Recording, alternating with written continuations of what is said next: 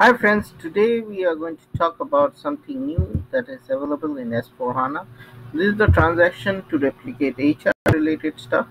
Uh, so here, as the name suggests, daily distribution of HR master data. Data is maintained centrally in this integrated HRMG distribution for it to other SAP systems.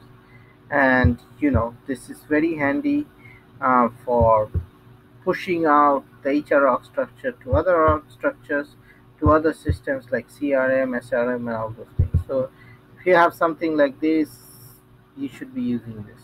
So this currently the system I have, I don't have it set up like this way, so I cannot execute. But this is the transaction you should be is system status the transaction code cs underscore and mwc 5 bunch of zeros 1 so that's it for this tutorial. Stay tuned to my SAP channel and happy SAP learning. And have a good